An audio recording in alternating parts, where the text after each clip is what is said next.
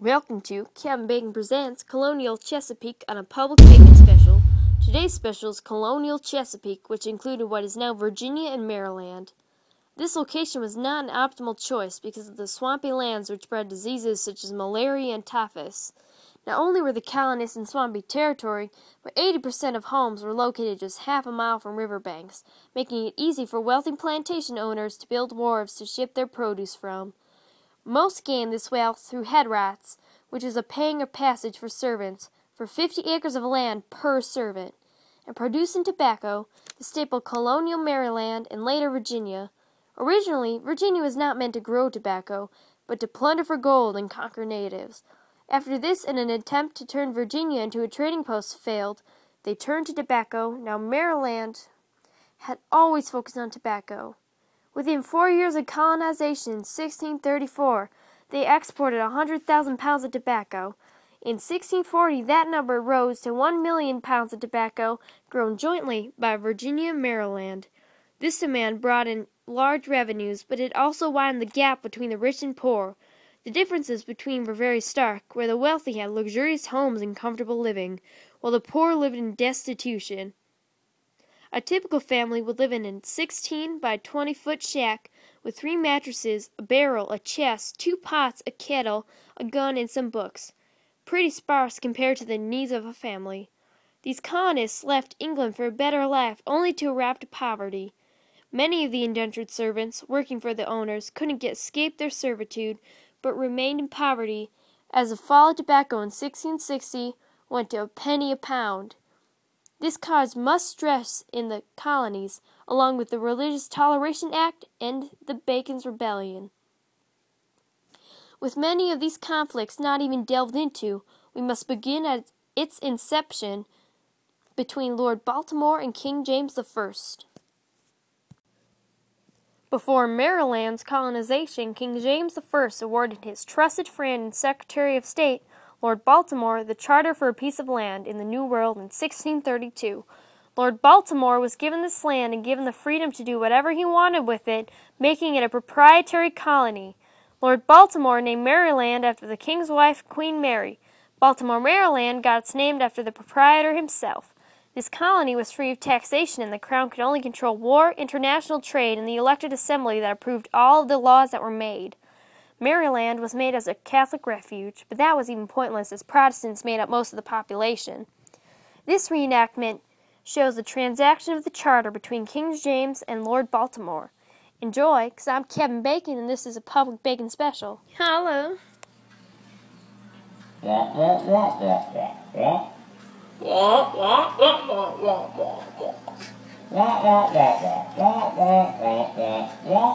wah, wah, wah, wah.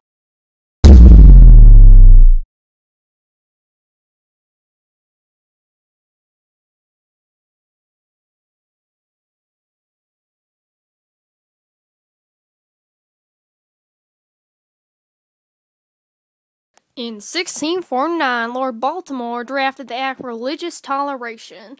This act made Maryland the second colony after Rhode Island to affirm religious toleration. However, this act did not separate church and state, and the government was still allowed to punish religious offenses such as blasphemy. Also, anyone who denied Jesus could be sentenced to death. Mm.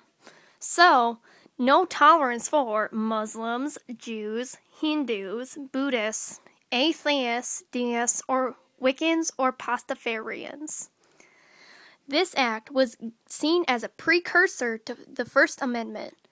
This act was meant to improve relations between Protestants and Catholics. However, in 1654, Protestants barred Catholics from voting and got rid of pro tolerance Protestant Governor William Stone. So, nobody but intolerant Protestants are allowed to have rights. Now, let's take a look at Susie, the blasphemous knitter, because I'm Kevin Bacon, and this is a public bacon special.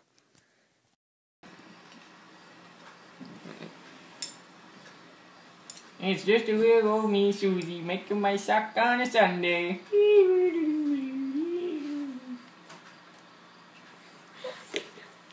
working on Sundays. blasphemy. you knitted on a Sunday. You're gonna die for Jesus.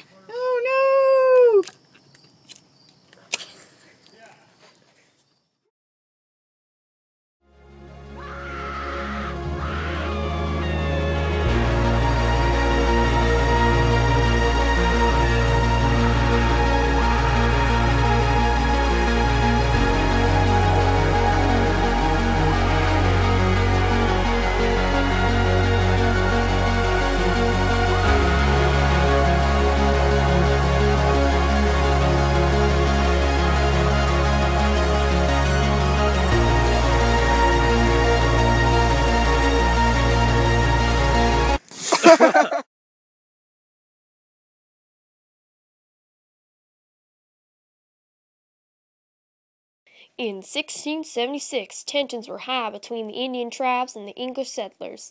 Governor of Virginia, William Berkeley, suggested building a big fence to keep the Indians out. But with the hard economic times, small farmers preferred the cheaper option of exterminating the Indians. Nathaniel Bacon became their leader and defied the governor and led 300 men on a massacre of all the Indians they could find. All peaceful. He returned in June and demanded the authority to wage war on all the Indians.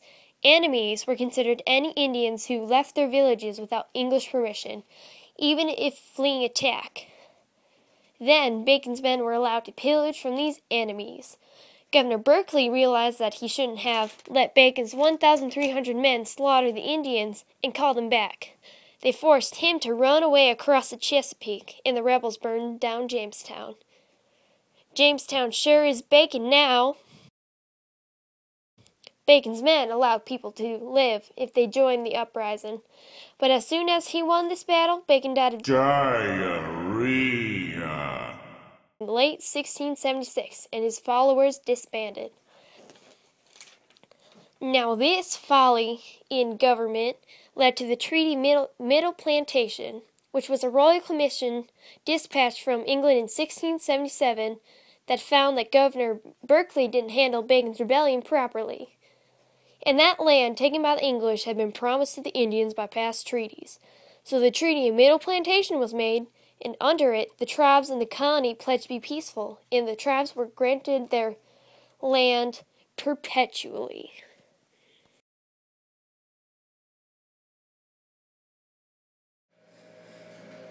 Let's go kill the Indian.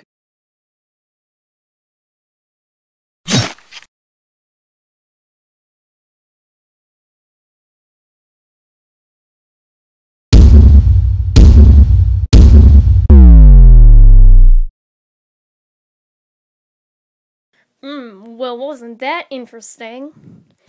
I'm Kevin Bacon presenting a special Bacon report, and I hope y'all enjoyed it. Cause I'm Kevin Bacon. See ya.